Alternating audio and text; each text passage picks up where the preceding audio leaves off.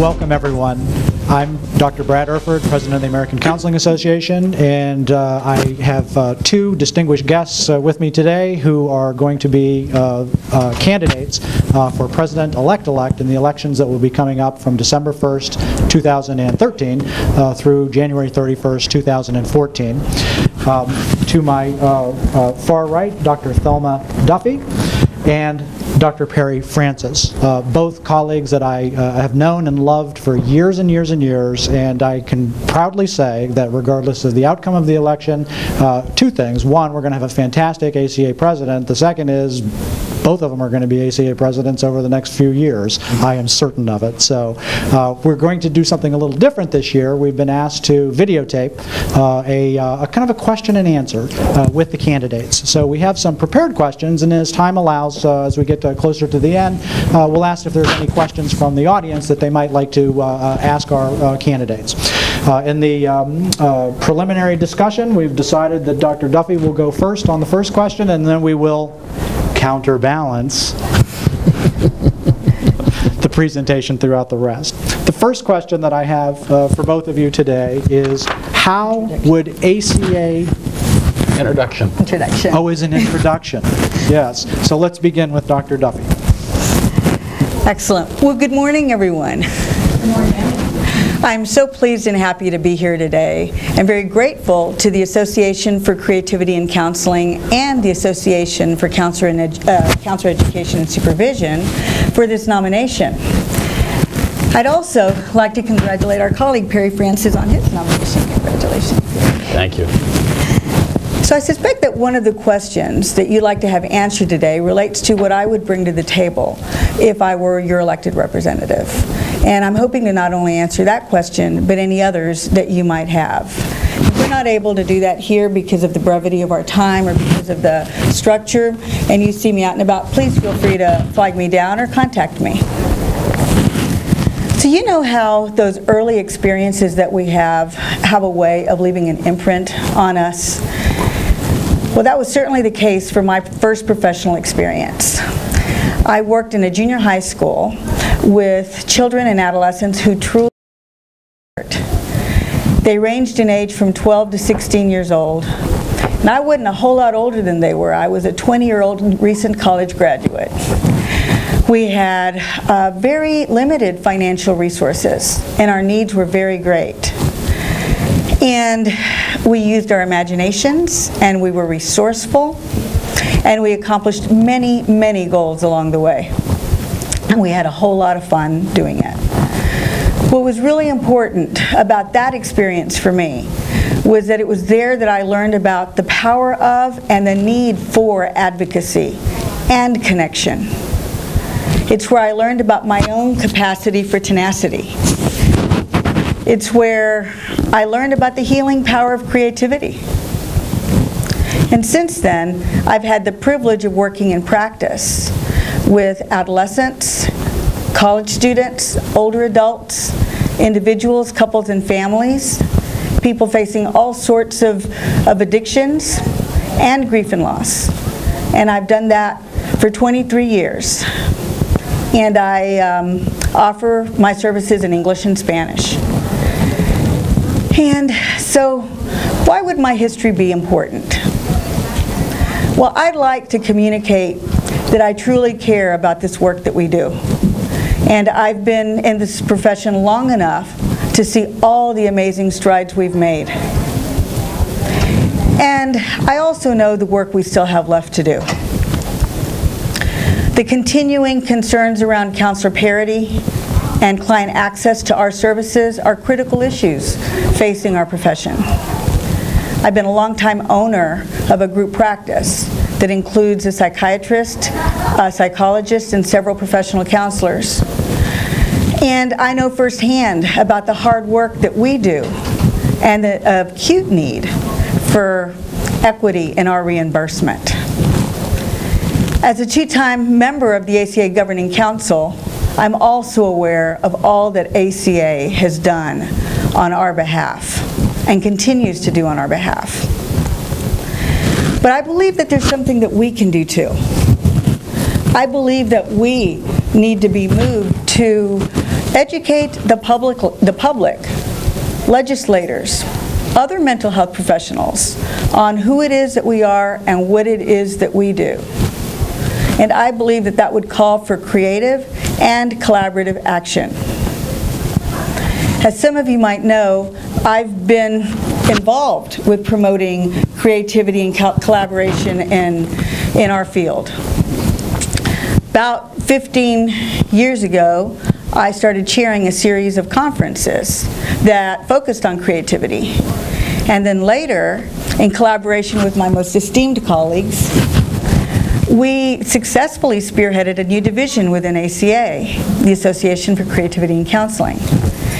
And I can't tell you how pleased I am that ACC will be celebrating its 10th anniversary next year and that our membership has grown far past its, its university roots in Central Texas to a membership that is reflected worldwide. The current president and I were looking at the membership roster the other day, and we saw that there are 12 countries represented in our membership. As uh, professional counselors, we do live all over the world. And much like a family, we're diverse in our interests, our approaches, and our specializations. And like a family, we are stronger when we are united. My greatest takeaway in leadership has been the power of thinking big, working hard, very hard, enlisting and supporting others, and creating something together that none of us could begin to do alone. That's what I would wish to do as ACA president and with you. Thank you. Thank you so much. Thank you, Thelma. Perry? Good afternoon or good morning, whichever, whichever we're at so far. My name is Perry Francis, and I'm one of the two candidates for ACA president. I came to be involved in ACA in kind of an accidental way. It started with the American College Counseling Association. I've been a campus pastor for the Lutheran Church for five years, and, and that was during that time I was working on my master's and my doctorate in uh, counseling. And I was encouraged because I work in, worked in student affairs and basically in college counseling because as a campus pastor, the two things I did the most was teach and counsel. And I was encouraged to be a part of, a, of an organization that was just beginning. ACPA had pulled out of, of ACA and the American College Counseling Association was getting started. They said they need a student member to be on their executive committee. And I said, sure, I'll run. And this was at the Denver conference.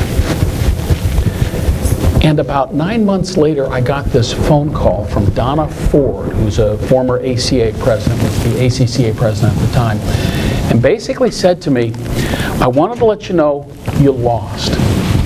But the other person doesn't want to do it, so would you be open to doing it?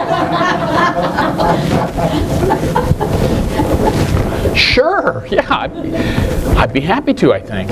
Um, and it was at that point I ended up in Oregon at a executive council retreat learning about the American College Counseling Association. And it was from there that I began to take on different leadership roles in the organization while practicing my craft as a college counselor, working with students working with people who were struggling to make it through college for various reasons. Now, both as a counselor educator and a counselor, I've always wanted to be able to practice what I teach. It sounds familiar. I like to practice what I preach. So here, I wanted to practice what I taught.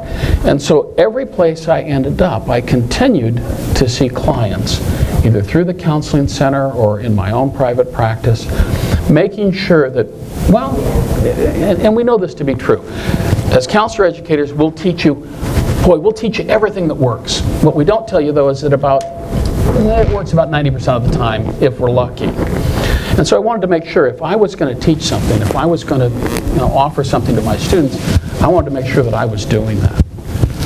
Now, I'm very fortunate right now in that I'm a uh, counseling clinic training director. We have our own clinic for our program in the College of Ed at Eastern Michigan University. And it's there that I help to administer the clinic. I work with a, a marvelous group of colleagues who act as basically the supervisors of our staff, which of course are students. And in that, in that environment, I get to see clients and at the same time work with students as they learn to be counselors and at the same time work with colleagues as we help form future counselors. So how did I get from A to B? Well, it started, as I said, by accident. Somebody, and I don't know who it is, we can blame or thank them. I'm sure it's in the record someplace that Perry got started in this field, uh, in the field of uh, being involved in the organization, and I would have been anyway because that's who I am. From there, it was uh, executive council member for students at large and new professionals. From there, the presidential cycle. From there, other things that they assigned me to do. The presidents in the room know you never leave after you've been president. There's always something else they want you to do. I've served on 2020 uh, as the ACCA representative. Uh, I'm now uh, the Ethics Revision Task Force Chair. Um, uh, Some president in their wisdom thought he'd be good at that and work with a great group of colleagues there helping to revise the 2014 eth- uh, ethics, which will become the 2014 ethics, and continue to be involved as the governing council representative for the American, Council, American College Counseling Association. So I bring with me a depth of understanding of the organization, a desire for a couple of things, which you and I share. And that is that counseling Counseling is a profession that's in its late adolescence. We're still having to define it for, for the population, for legislators, and quite frankly, for just about everybody else, other people in the counseling mental health profession. Um, We've just finished coming up with a definition, uh, some scopes of practice, and trying to, to make a bit more concrete what the educational requirements are. But you know, when you go out there and try and define counseling for people, they hear the term in so many other places that it's incumbent upon us to be very clear and very bold and very upfront about what counseling is. And that's what I want to bring to this as well as an understanding that it's time for us to talk about what our professional values are. And I'll talk a little bit about that more later. But that's what I want to bring. I want to bring a deep sense of an understanding of the organization, a belief in the organization and its power to move us forward, that we need to continue to advocate in many different realms for what counseling is, and to begin to have that discussion about what our professional values are that we take on when we become professional counselors. Very good. Thank you for those introductory statements. Uh, Dr. Francis, how would ACA be better off because you were president? You know, as I said earlier, and, and and Thelma, I know will agree with this, it doesn't matter which one of us is elected. Um, We're both accomplished professionals. We, we will lead the profession forward. But, but I want to correct something. I think the question is in error. The idea that ACA would be better off due to the impact of one person creates a false sense of power and expectancy on that one person. ACA is not one person. ACA is a team of people focused on the goals of promoting and supporting the members of, of the American Counseling Association and the profession of counseling. You know, I would become part of a team, albeit the president, should I be elected. And in that role, I would bring an understanding of our work as a team, that we seek to utilize all of us, whether it be people in the, in the professional office, people like Scott Barstow, or the people that Scott Barstow touches as he helps train others to advocate for the profession in both local, state, and federal legislatures. You know, an example of that, for the last several months, I've been working with a tremendous group of professionals, Shannon's one of them, who are working to update the ACA Code of Ethics. Now, several people have come to us, they've looked at the work we're doing, and they said, you're doing a marvelous job. And I say, it's not me, it's us as a team. You know, and that's how we're doing this. We're coming together as a team to promote the profession. I'm honored to lead these people, and I do set the vision, and I do set the focus of this group. But trust me, It's not my product, it's our product. I'm working, or have just finished working with another group of colleagues on the 2020 uh, uh, debate, as it were, that four hours did seem a bit like a debate, on trying to define counseling to set a scope of practice. We work together as a team, albeit one that would argue, but respectfully, and to set that focus, to set that goal. I've had the great honor of working with a group of professionals trying to come up with a special edition of the JCD, a special section for the JCD, that's addressing the concerns of the Ward v. Wilbanks and the Keeton versus ASU cases. Because we as a profession need to understand what the impact of that is on us and how we need to respond and better define who we are. So how would ACA be better off with me as president? Well, I would provide that vision, that focus, leadership that seeks to promote and support our members in the profession of counseling to set realistic and achievable goals for the team of ACA as we work towards the continued improvement of our services, the educational opportunities, and the advocacy for the profession in the face of, well, come on, stiff competition. How many of you have been in the state legislature and people have looked at you and said, well, we have psychologists and social workers for that. Why do we need counselors? Or been someplace and had somebody say, well, what is a counselor? To advocate for the profession that way. So I would hope to bring those skills that I have not only as a counselor and a counselor educator, but as a successful and creative leader. Thank you, Perry. Dr. Duffey? So like Perry, I struggled with the question. In fact, I looked the definition of better off up because I thought, what exactly do they mean? Because like Perry, I agree that we lead teams and we work with teams. And this is a collaborative, collaborative effort. But I can tell you that as a leader of the team, I would work tirelessly to advocate for our profession and to educate the public on who we are. I'm curious as to whether any of y'all have ever Googled the difference between professional counseling and other mental health professionals. You have? What'd you find? some very mixed up responses. It's pretty amazing.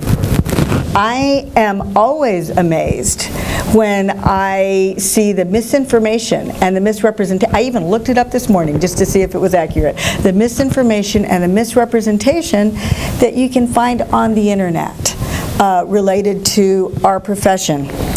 And ACA is doing an amazing job, working as hard as it can to take care of that. And, and I know that through my work on governing council, and I know that through all my colleagues on 2020 and, and every other way.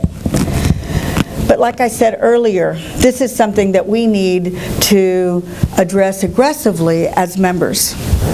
And I believe we can do this from a grassroots level and through national initiatives.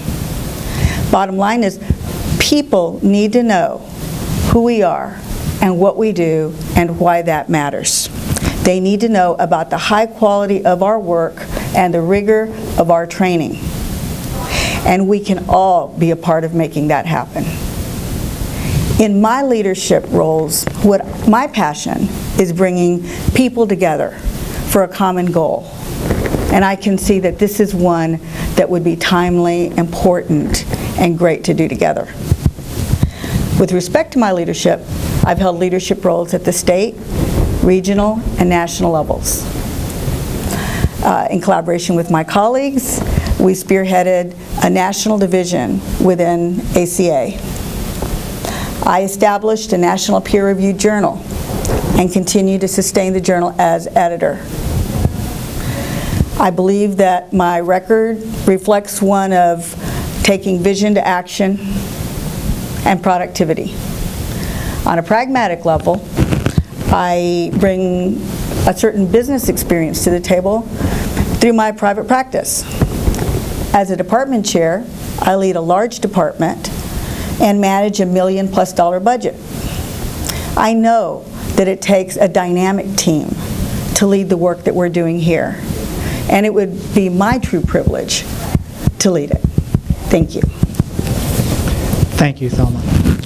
The next question Dr. Duffey, some clinical counselors are leaving ACA for organizations such as Psychotherapy Networker, reporting that we are oriented toward counselor educators and students, and they are oriented toward the clinician. Clinicians are buying our webinars. What else could we offer to clinicians to make them feel their membership with ACA is of clear value to them and to their clinical work? There you go. Well, thank you, Brad. Actually, that's a question I've given an awful lot of thought to because I am a clinician and I'm always looking for resources for my practice and for my clients. I'm also a counselor educator, and many, many of our students want to work in clinical settings, so this is an issue that's important to them as well. But with respect to this question, I'd want to back up a little bit, and I'd want to get some facts. What are the people who are leaving ACA telling us? What information do we have? What are clinicians saying they need? Because I'd want to know that in order to inform our next steps. Now, if I had to guess, I'd say that we could approach this on two levels. So the first would be addressing clinical needs in, in the pragmatic ways that Perry and I have been talking about this morning. Public perception, uh, parity, and license portability. We can create a home for, for clinicians as we create space for clinicians for us in the bigger world. On a second level, it's resources. ACA has uh, worked very hard, and we have new research centers, and, and, and as Brad said, actually, I remember sitting in a governing council subcommittee where we were brainstorming how we could use technology to meet the needs. And we came up with, at that time, webinars. What if we had webinars? What if we had podcasts? How could we do this? And it's been very exciting to see those implemented so quickly and be so successful. In addition, I've, um, I've been involved in co-chairing the newly launched ACA ACC Creative Ac- Interventions and Activities Clearinghouse, which was created by grad students and counselors for counselors. And our purpose is to create a database of information and ideas that people could quickly reference.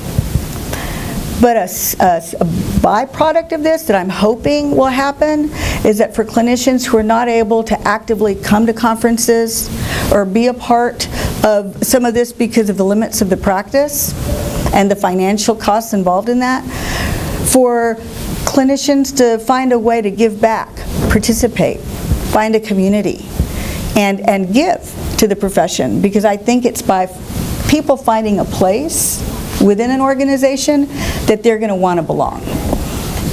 That's what I think. Thank you. Thank you, Thelma. Dr. Francis?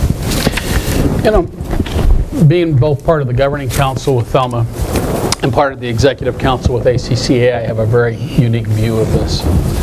Several years ago, when I was part of the executive council um, of ACCA, before I moved into the governing council position, I got together with my friends and we said, with my colleagues, we we said, you know, we need our own conference. ACA conference is marvelous, but we need something focused on the practitioner of college counseling. And from that point, we began to develop the idea of a college counseling conference, and we brought it to fruition. With a lot of hard work during my presidency, we created it, and then as past president, it came to be in Georgia when we had our very first conference. We've now gone from every other year to now every year focusing our presentations to making sure that they're focused on the practitioner so that that person has some place to go to get the education that they need that helps them do their job. Before ACA created the webinar, we were already there. And we were there because, well, our members needed it. Why? Because, well, when you're a college counselor, you don't always get to leave the university and get to go to conferences. I've participated in those conferences. I, I, I'm, a presenter for three different companies doing those webinars. And right about that time, they began to take off. We were there in the forefront. But again, it's not just about doing it, it's about focusing on the needs of what the profession wants. Identifying, in our case for college counselors, there was a lot of behavior intervention teams being created, and we focused our presentations with uh, Brian Van Brunt, who's very good at this, to talk about what is the counselor's role in that. What are the ethics around it? That's my area that I love so much. What are the ethics around that? And now that's coming up here. And, and like Thelma, I agree. What is, what is it that other people are asking for that we're not providing that they need? And to find that out. Well, let me give, when this question came out, the first thing I did was I went to the Psychotherapy Networker website, and I also went to the Evolution of Psychotherapy website. Those two websites, those two organizations, Evolution of Psychotherapy has a conference about every four years. And uh, Psychotherapy Networker, they have theirs every year, and the way they advertise it. Take a look at who's presenting. Take a look at the subjects that they're presenting on. It's very focused, very practical information. And it's something that, well, quite frankly, we need to think about doing. And that is inviting the experts in the field to come to ACA and offer their services. They may not always be ACA members, but that's the job of the organization, to identify those persons who have something to offer to our members and to provide it to them. Now think about this. ACA has already started to do this, and I want to support them in that, in that effort. Take a look at the webinars we already offer. We've got one coming up on depression. We've already done PTSD. We're doing more in the areas that our, that our professionals are asking for. Not just school counselors, not just clinical counselors, not just college counselors, but information that everybody needs. And then what I'd also like to see us begin doing, because it's important for us to be able to not certify, because that gets into a, a different legal area, but to say to people, we're saying these people have taken these courses and to have tracks. Now, as the governing council, we, we did this just, just this last meeting in trauma and disaster training. Our task force reported, to which I was the liaison to, reported out that one, we need to create a database, we're going to do that. And two, we need to begin to create courses, whether it be in a learning institute or focused sessions throughout the convention, that people at the end of it can get some sort of certificate of completion. And I want to take it just another step further. Why can't we, as ACA, contract with some organization that already does this training, other than the Red Cross, because the Red Cross we're a partner with, and say, you provide this training. Now, what we want to do is contract with you to provide this training at a specific time, say a convention, and we'll offer it at a reduced rate for our members. So I want to address those two things, getting the best people in and to offer it at a rate that our members can afford. Because quite frankly, and I know you, you know this as well, because I, I govern the, the, the counseling clinic budget, you govern your department's budget, money doesn't grow on trees anymore. I know it used to in Texas. They called it oil. Yeah, they called it oil. But, but it, it stopped growing on trees. And, and so um, we've got to help our counselors get the most bang for their buck. Thank you, Perry. The next question, if we can start, Dr. Francis. If you're elected president, identify three strategic goals or priorities you would implement to move our profession forward, and explain why each one of these goals is important for you to accomplish. You know, as I, as I started with, and you and I both agree on this, it, it's so important that we advocate for the profession. And, and increasingly so at the, at the national and state level. Now, we do a marvelous job. We've increased staffing in the legislative area, and we've made some significant inroads. And we need to maintain those roads, and that's the problem. Right now in Michigan, they want to charge extra taxes on our gas so we can rebuild the infrastructure of the roads because they're falling apart. If we don't continue to provide that funding, if we don't continue to hammer away at the legislators, we're going to see us backtrack on the work that we have accomplished with both TRICARE and the VA. You know, the VA accepted counselors many years back for employment, but it took them, what, 10 years? For, and it took our continued hammering for them to start writing the job description so people could get hired. Now, the second piece of that, that advocacy, and I- I know I've got to be quick because we're running out of time, is at the state level. We have had, well, a perfect example. Uh, In Tennessee right now, they're trying to pass bills that would allow for what I call discriminatory referrals. We have to train our local people, continue to train our local people with the help of ACA so that we can advocate and make sure that those bills don't pass.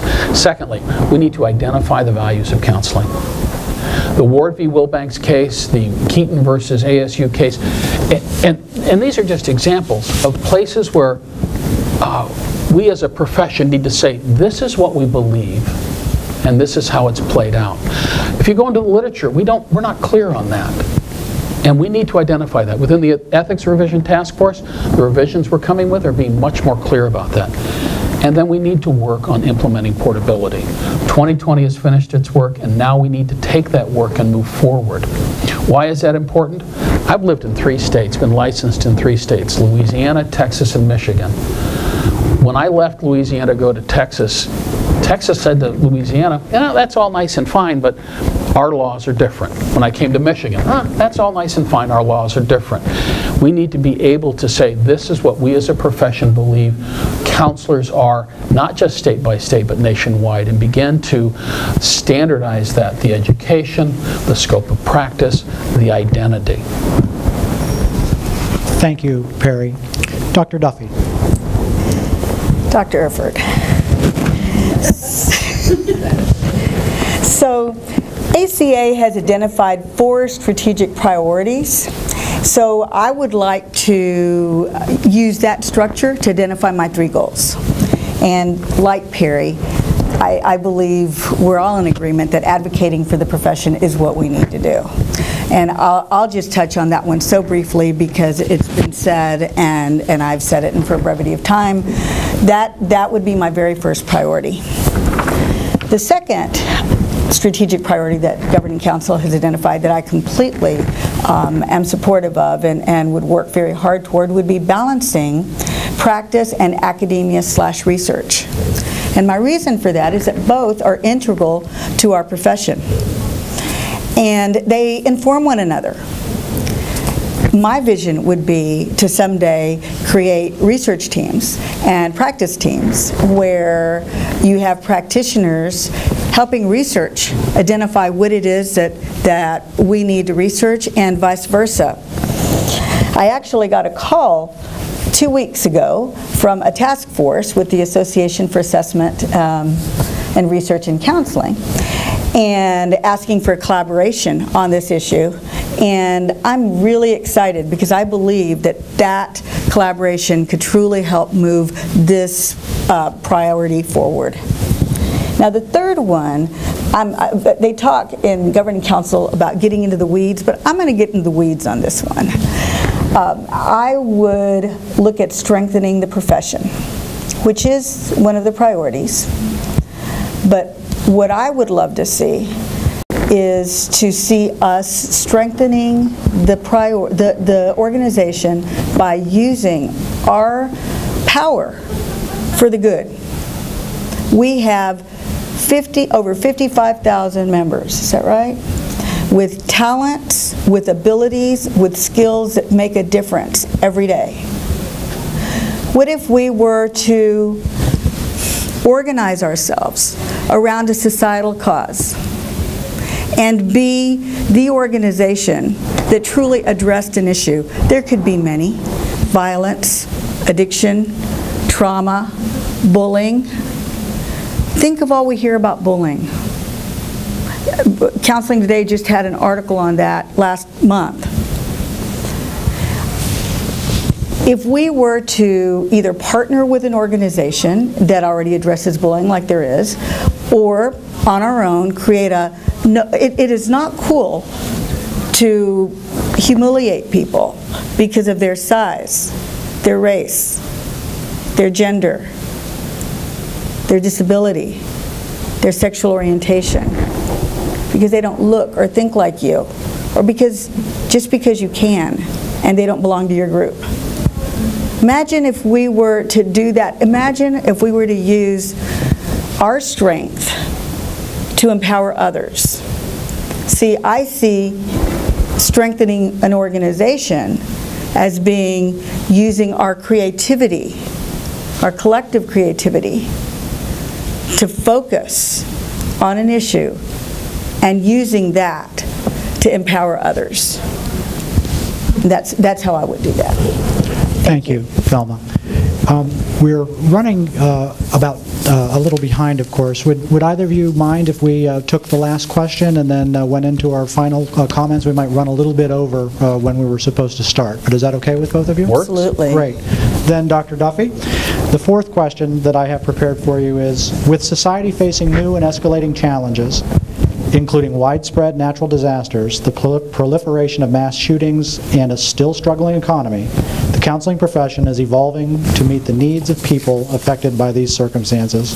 As such, professional counselors are turning to the American Counseling Association for assistance, training opportunities, and guidance as they navigate these complex issues. Please share your ideas regarding the best way to support our members who are striving to provide essential services at such a critical time. Thanks, Brad. Well, actually, I've been one of those counselors for a good part of my career because a good part of my own work has been working with um, people in crisis and trauma and dealing with the grief that goes with it. More specifically, I began my career working with children who were chronic and terminally ill. And much of my job at that point was to be with the children until they died and then to be with the parents and the siblings after that. What, what greater crisis could there be in somebody's life, in a parent's life, than to deal with that? And one of the things I'm really grateful for is that ACA has um, a task force that was formed in 2010 and um, a, an interest network. And I would want to build on their efforts to see what we could do. I was really excited, as Perry mentioned, the other, just two days ago, Governing Council passed a motion to work with training counselors, providing services, and a registry, which I think is hugely important for, for counselors everywhere. One of the things that we could also do, as Perry talked about uh, contracting with others, I was looking at the VA site and the National Child Traumatic Stress Network, and they have pretty amazing offerings. In fact, we use a lot of their materials when we teach our grief, crisis, grief, and loss classes. And what if we were to see about partnering with them?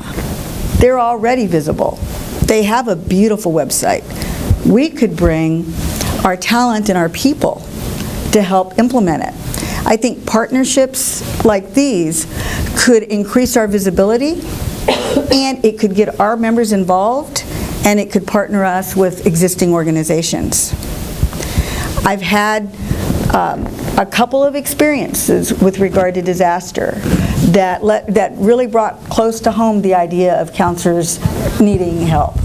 The first was um, a while back when I was a professor at Texas State. Texas had what they called the 100-year flood. And several of my students and a colleague lost their homes and everything they had. And because they didn't have flood insurance, because you only have a flood 100 years, you don't think about that, they, there was no recourse. And, and we all worked very hard in those circumstances. My home was flooded, and I was lucky. My practice was flooded, and I wasn't able to work in it for several months because, uh, because it took that much to clean out the debris. Again, I was lucky. The restaurant that was across the street that we ate at most days, we actually saw float down the street.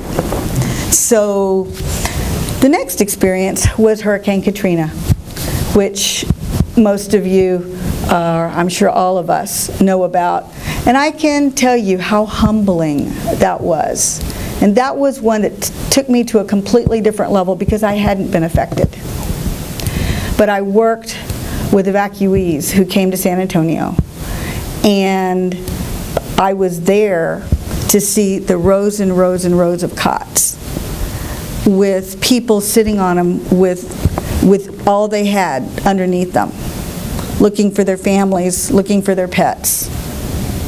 And I got to go home, and I got to be to my world that was intact. And I was able to take a bath. And I just laid in my bed, and I looked up at the ceiling, and I remembered the faces of the people that I had met that day. And it was very powerful, and those of you who, who joined me in some of that and who led me in, in some of those efforts know that counselors do need care during those times. And this morning, Ashley Judd talked about vicarious trauma. We do have that. So how can we take care of ourselves? ACA Foundation has a Counselor's Care Fund, which I believe is, is, is something we need to remember to educate people about, and it's something we need to continue to give to. Thank you. Thank you, Thelma. Thelma. Dr. Francis.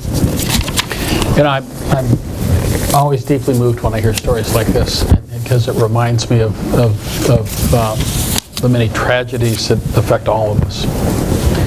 Years ago, um, while I was on a break from school, Arizona had a similar 100-year flood.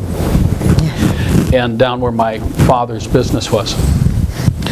And so during that time, I went and worked with the American Red Cross volunteered, went down to the area that was closest to the Gila River, and was going in to homes, talking with people with, in the midst of what little they had.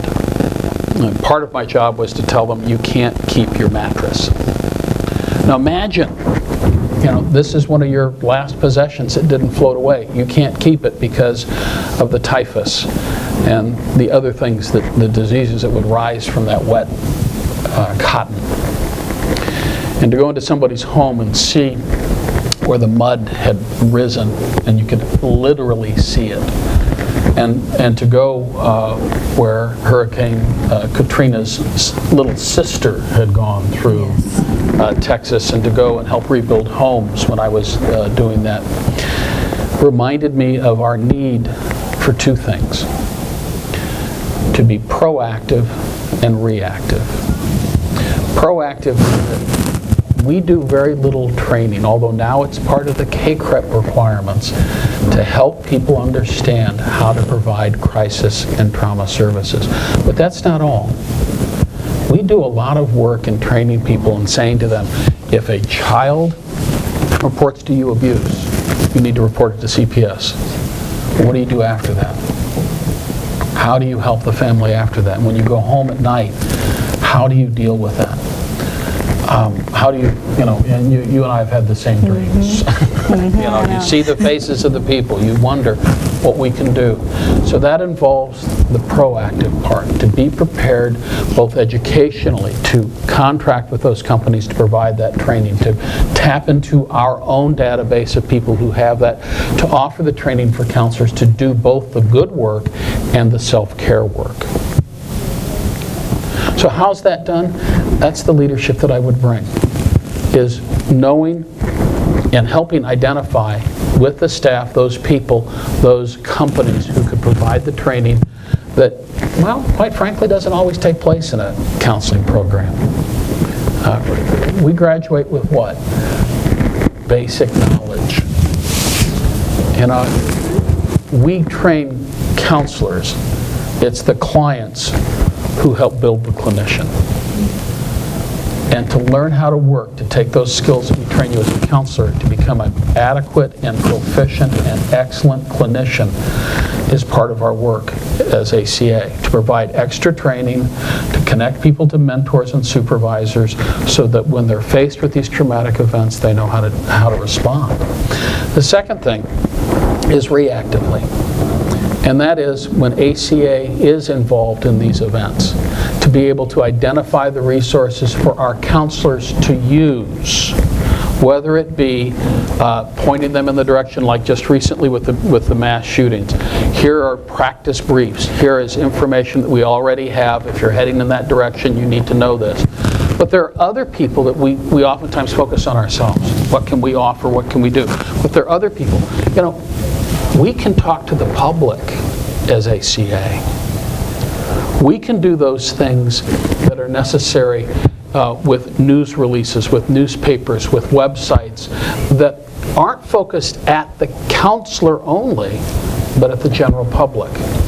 Here are things you need to know. I'm always envious when these when these uh, uh, uh, events happen, and you hear, well, from the American Psychological Association, they have said you should put your feet in cold water. And my next question, what's the ACA say? We have just as much research. We tap into the same resources, and we need to be able to say, not just to our members, but to the public our members work with, these are the identified things that we know work, or the resources that you have available to you if you can't get to a counselor. And to let the public know that counselors care. As the shirt said, be calm, call a counselor. And if you can't call a counselor, here's the ACCA website, here's some, here's some information for you that will help you before you get to that counselor. So what, what do we need to do? Provide that training, and then reactively to have resources already available for the counselors and the public. Thank you, Perry. It's time to uh, uh, move into some closing remarks, Uh, and let's go ahead and start with Dr. Francis. You know, either one of us, and, and or, or, I believe, would be excellent, excellent presidents. That sounds really egotistical, but I, I We don't would mean it to both be. be excellent presidents. Thank you very much. It Bailed me out there. I appreciate that. Um, Because I think we, we follow in the footsteps of prior presidents. We don't do this alone. We've never done it alone. There's always a steep leaning, learning curve. The same thing with governing council, it's the same thing with division presidency, it's the same thing with region uh, chairs, both of which we've all done. We've all, we- we've done the many things that train us for leadership. But it's when you get into that office that you begin to connect with people who have already done it, who help teach you. I'm open to that learning, as well as well-prepared to jump into the shoes and get going. I bring with me the experience of a division president, of a governing council representative, of uh, an ethics chair, of all the different things that help prepare you. But I also bring with me my own person, my genuineness, my hope, my commitment to the profession. You know, there's been a shift professionally. We join organizations for what we get. 30 years ago, we joined organizations because that's what we were supposed to do. I still believe that's possible. It's what we're supposed to do to help identify ourselves and our profession, to lift it up, not because of what we get from the profession, but because what we can give to the profession and give to others. So it works both ways. And that's what I want to bring, is that commitment to the profession, that vision that we are professional counselors, well-trained, well-versed, and prepared to work with people and to let other people know, both our colleagues in the other mental health professions and the general public and the legislatures. That's what I want to bring, is that we're, we're ready. We've been ready for years. It's time to listen. Thank you, Perry. Dr. Duffey? Well, I'd like to close by thanking you for coming to ACA's first ever Meet the Candidates Forum. This is, Perry and I were saying, we we we were we were the forerunners for for being here today. My goodness. And like Perry, I would be so thrilled to learn, my goodness, as I even look in this room, of, of the leaders of the past presidents who inspire me and who serve as my role models, and that I would be so open and hopeful to learn from. I would want to bring my clinical, supervisory, business, and higher education leadership to help me. We've accomplished and will continue to accomplish many things as an organization. And like Perry said, either way this goes, ACA is doing great things. I'd love to be part of the leadership, though, that expands opportunities for students, for counselors, and for the public because of what we do. And I believe we do that by supporting one another and by being proud, vocal, and unified. I am personally very proud to belong to an organization that has wellness, context, diversity, and relationships as its guiding principles. Because that's what it's about. Touching the lives of the children, the families, the groups that sit with us. That's what it's about. And I like working hard. And I like thinking big. And I like working out the details that put vision into action. So if this position is about hard work, big ideas, and working with others, I'm in. Thank you. Thanks to both of you for sharing your insights and strategies, priorities. I think that it's easy to see just in the last 45 minutes, first of all, why I hold both of these individuals in such high esteem. And I think it's also equally easy to see that regardless of who becomes the 60 64th president of the American Counseling Association, that we're going to be in incredibly good hands uh, in the years moving forward. Please uh, join me in expressing my appreciation for our candidates today. Thank you, Dr. Perry Francis and Dr. Thelma Duffey, for sharing Yeah. all of this wonderful information with us today, and best of luck to you.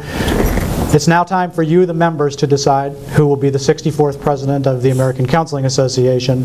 Polls open December 1st, 2013, and close January 31st, 2014. So please come out and vote. Thank you all.